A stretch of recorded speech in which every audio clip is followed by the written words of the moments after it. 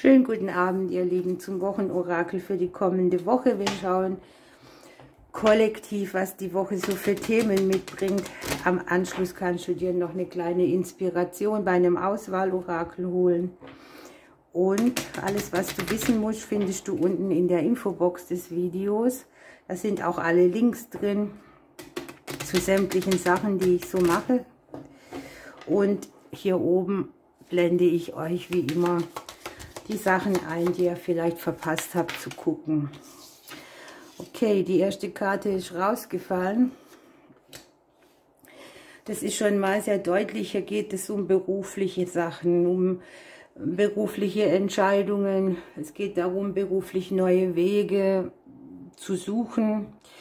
Möglicherweise ist es hier eine Sache, die du ganz neu kreierst und die relativ kurz ähm, handelbar ist. Ne? Es gibt hier verschiedene Gangarten, verschiedene Möglichkeiten, verschiedene Optionen und genau das scheint sich hier als Problem darzustellen. Oder was heißt Problem? Man weiß vielleicht nicht richtig, wie man sich entscheidet, vielleicht auch nicht, ähm, wie man alles auf den Weg bringt, was so mit dem Umfeld und dem Beruf zu tun hat. Das Außen spielt mal wieder eine große Rolle.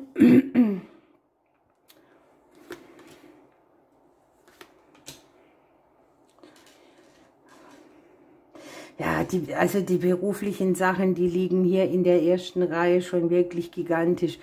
Wir haben hier das, was du so im Kleinen kreierst, was dich hier auf einen neuen Weg bringt.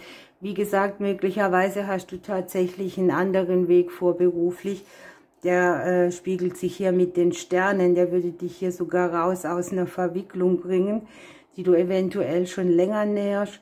Und das kann vielleicht sein, dass du dich unsicher fühlst oder dass dir das Gelingen so in Frage gestellt wird. Aber das ist hier keine große Sache. Ich sehe das eher so als Funken und du nimmst ihn und legst los.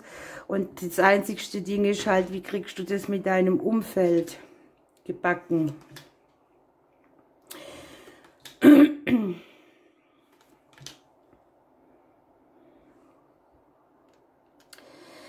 Ja, das, was hier liegt, ist so ein bisschen ja, ein, ein Spagat zwischen Beruf und Familie, zwischen Beruf und Umfeld.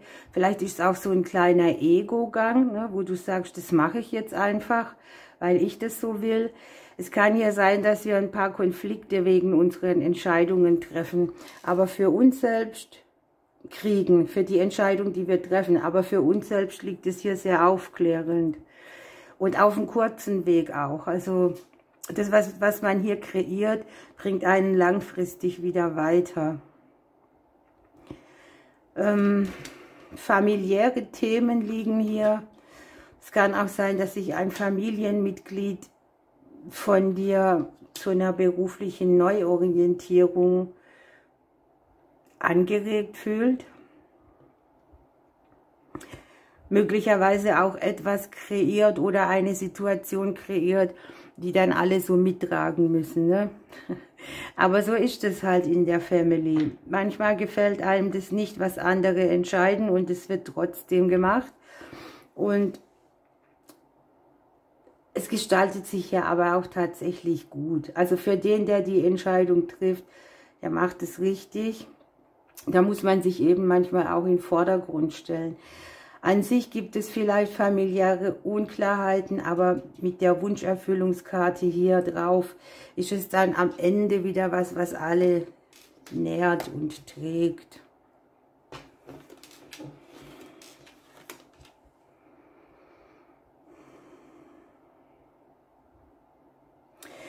Ja, was hier sehr interessant ist, es kann hier sein, wenn du ein Gegenüber hast, dass das auf deine Sachen irgendwie hinderlich wirkt. Ne? Möglicherweise gibt es da so Dinge, wo dein Gegenüber denkt, hm, das macht, macht er oder sie aber jetzt nicht richtig. Andererseits liegt hier auch diese Sachen so mit der Vergangenheit konfrontiert werden bei dieser Entscheidung, bei diesem Weg, der da gegangen werden muss, kann auch übrigens durchaus im häuslichen Bereich sein, also alles, was mit der Wohnung, mit dem Haus, mit der Umgebung zu tun hat.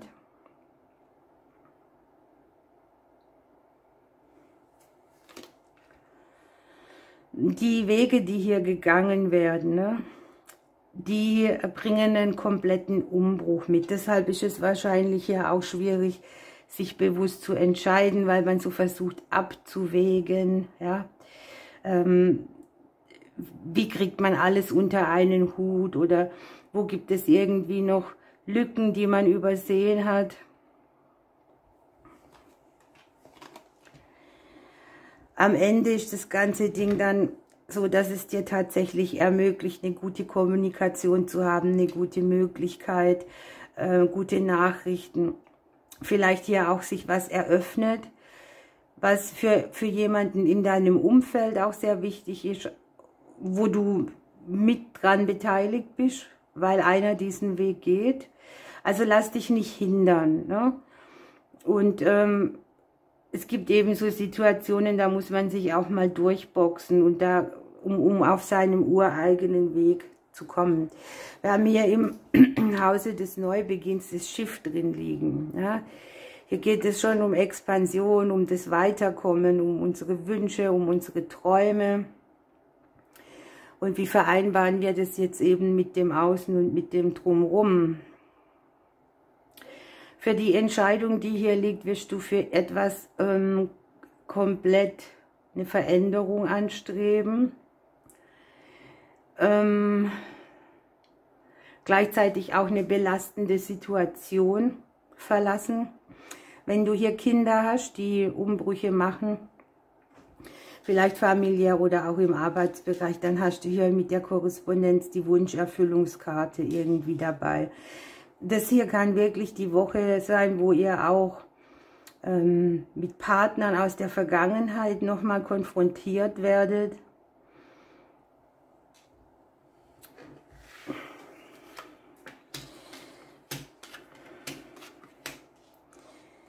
Wo Dinge, die dir am Herzen liegen, hinterfragt werden, wo du vielleicht für dich selber auch nochmal gucken kannst, äh, wie gehst du mit dieser Situation um, wo schleicht sich hier irgendwo so eine Art Langeweile oder... Ähm, also für mich ist das, was ich hier sehe, so eine Art Blues, den hat man, weil der Alltag da ist und weil eben das ist, was war. Und möglicherweise hast du hier gute Chancen, diesen Blues zu lösen, der dann alle irgendwie ein bisschen mitnimmt. Nenne es Kettenreaktion. Man darf hier die Liebe hinterfragen, man darf hier Beziehungen hinterfragen, man darf hier alles Verbindliche hinterfragen, man darf sich auch fragen, wo sind die, die Dinge, die mich innerhalb einer Beziehung, die sich für mich ungut oder ungesund anfühlen? Wo lasse ich mich von einem Partner hindern oder wo hängt vielleicht auch der Partner selber noch zu sehr in der Vergangenheit und am Ende ist es auch so eine Entscheidung, die hat was mit emotionaler Unabhängigkeit zu tun.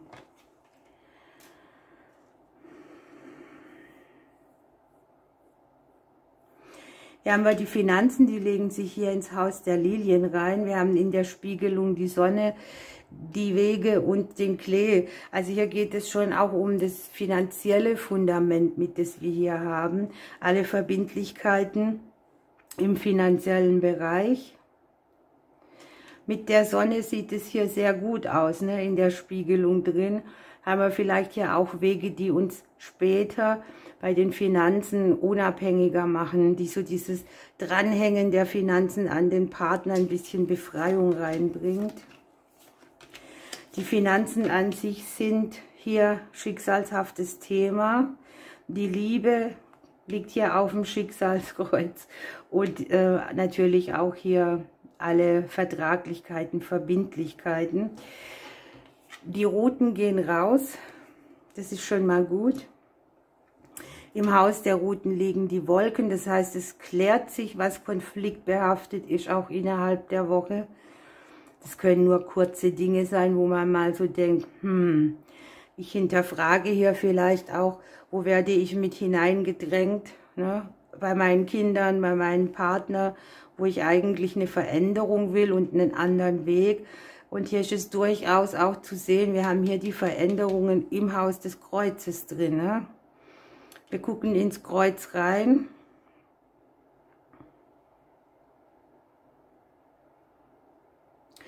Hier ist eine Möglichkeit, die sehr schnell auch angeschubst wird, aus einer beruflichen Situation sich zu befreien. Manchmal macht man da auch dann so dieses Ding, ich habe jetzt lange genug rumgemacht und ich mache es jetzt einfach. Ne? Man nimmt sich raus aus einer Situation, sehr zum Erstaunen von all den anderen. Ne? Wie kann man denn nur seine Sicherheit verlieren? Wie kann man denn, wie kann man denn? Aber hier geht es sehr stark um Unabhängigkeit in diesem Blatt und um, um Kreisläufe, die, die lange nichts gebracht haben, außer Langeweile. Ne? Hier sind sehr viele Erfahrungen mit an Bord, aus denen wir schöpfen dürfen. Wir haben hier so auch schon die Intuition dafür, was hier passiert. Oder wir spüren vielleicht schon länger, dass wir neue Wege gehen wollen, damit wir mal wieder was erleben, vorankommen. Und das sehe ich hier eindeutig bei diesem Thema auch versorgt sein. Ne? Dieses, diesen Mut zu haben, sich auf eigene Beine zu stellen, etwas anderes auszuprobieren, obwohl man vielleicht im Kopf hat, ich verlasse gerade einen, einen sicheren Hafen. Ähm, hier wird aber auch was Berufliches angezeigt. Das macht dir Langeweile. Das ist ein ausgetretener Schuh. Und ich sehe hier in der Spiegelung einfach auch und in der Korrespondenz, dass das für manchen eine schnelle Sache sein kann. Eine schnelle Entscheidung, obwohl es vielleicht angedacht gewesen wäre, mehr mit einzubeziehen, in deinem Umfeld stellt sich jetzt halt die Frage, entweder lasse ich es so oder entscheide ich es. Hier sind mehrere Optionen für dich drin. Hier unten habe ich für die Selbstständigen Verträge, Geldveränderung. Möglicherweise erlaubt dir hier auch dieses Kartenblatt für dich persönlich eine Veränderung bei den Themen zu haben, wo du denkst, du machst so Alleingänge. Ne? Du, du hast jetzt hier nicht so die Unterstützung, die du bräuchtest, sondern du, du kämpfst dich halt so voran.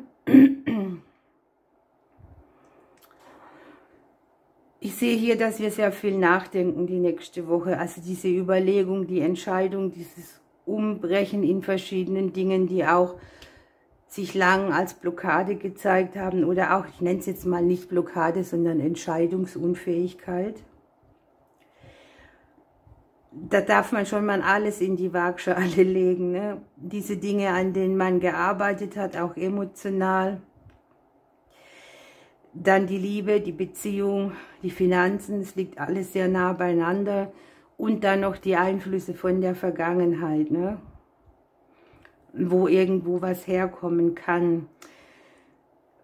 Wir haben im Hause des Herzens den Bären drin. Unter Umständen haben wir als ähm, weibliche Darsteller hier einige Vaterthemen oder Dinge, die mit dem, mit dem Urvertrauen, mit der eigenen Größe an sich zu tun haben. Beim Gegenüber liegt jetzt hier sehr die weibliche Haupt, äh Quatsch, die Schlange davor, also die, die, dieser weibliche Teil. Es kann uns also schon nochmal auch an dem Thema rütteln, das wir kennen. Oder uns auch etwas aufzeigen, ne? so eine Situation, wo man versteht, ah, okay, hier hängt es, hier kann ich was tun. Die Sonne liegt im Haus des Briefes drin, der Brief liegt oben drüber, das Umfeld, die Wege, wir selber im Haus der Sicherheit. Vielleicht werden wir auch noch mal so abgecheckt, ne? wie sicher fühle ich mich denn mit dem, was ich habe. Was bin ich bereit in die Waagschale zu werfen? Und wo benötige ich einen anderen Weg, eine Veränderung? Wenn du selbst nicht betroffen bist von diesen Triggern der Vergangenheit, kann es ja auch sein, dass du, dass deinem Partner oder deinem Gegenüber das passiert und du vielleicht feststellst, was da alles noch im Argen liegt oder wirkt. Es kann hier speziell auch an die gehen, die Kinder aus ersten Ehen haben und jetzt andere Partner.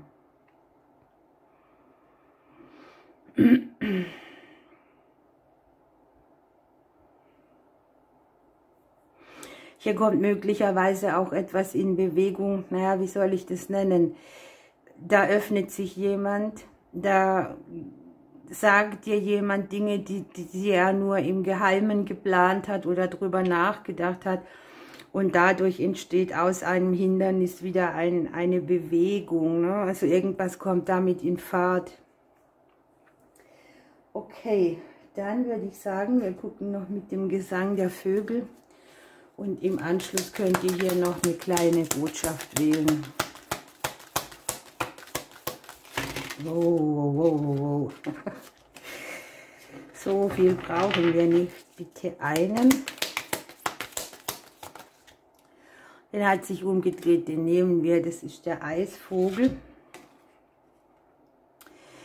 Ich verhelfe dir zu mehr Romantik, Liebe und Freiheit. Fürchte nicht das Unbekannte, lerne immer wieder neue Dinge. Behalte einen offenen Geist und die neuen Dinge werden zu dir kommen. Neubeginne hier. Ne? Wunderbar, ihr Lieben. Ich drücke euch, ich wünsche euch eine schöne Woche und bis bald. So, ihr Lieben, hier bin ich wieder. Ich nehme die zwei Buddha-Figuren, hier der silberne, hier der rot-goldene. Und äh, wir gucken, was wir an kleiner Inspiration noch mitkriegen für uns persönlich.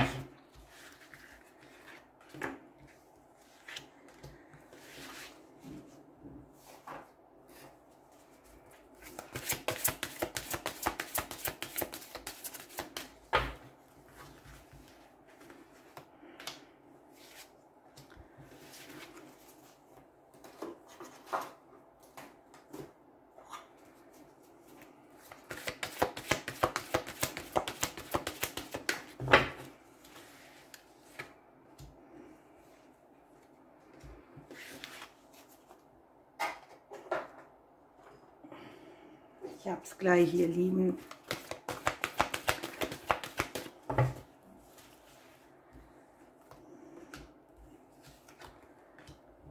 Okay.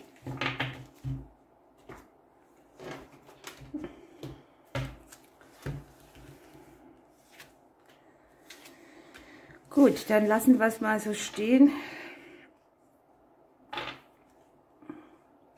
Such dir eine Seite aus. Ich kann mich wieder mal schlecht entscheiden.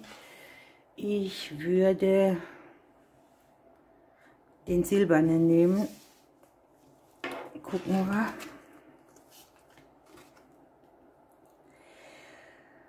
Okay, der Beifuß. Hier geht es um das Vertrauen von den Träumen und den Eingebungen, die Sprache der Seele, die Verbindung zur anderen Welt und dein altes Wissen äh, vermittelt dir hier neue Perspektiven. Also achte mal in der Woche auf deine Träume.